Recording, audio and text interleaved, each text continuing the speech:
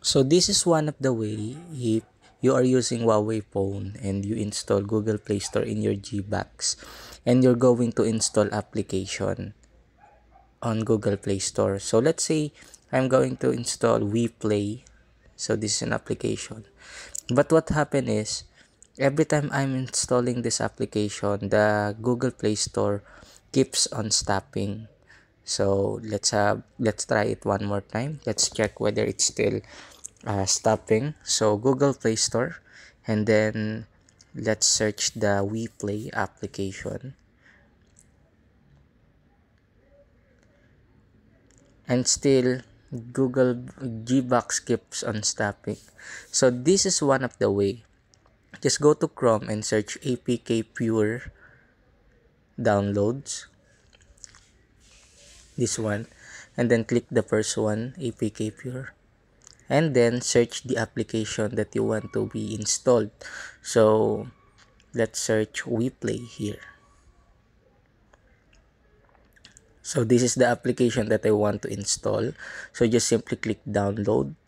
And then after that click download APK and then scroll down once you scroll down by the way uh, APK Pure sometimes requires you to download its application apk pure app.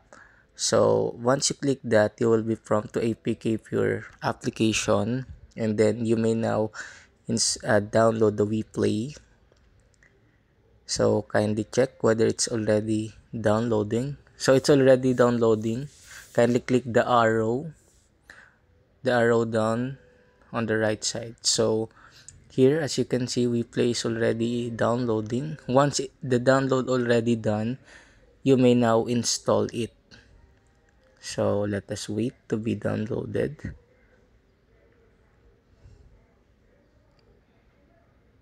Okay so it's already downloaded and then we are now going to install the application. So here's the application. Just simply click install and then after that let us wait for a minute. And then it's already done. Just simply click open if you want to check it. So this is the WePlay that I want to download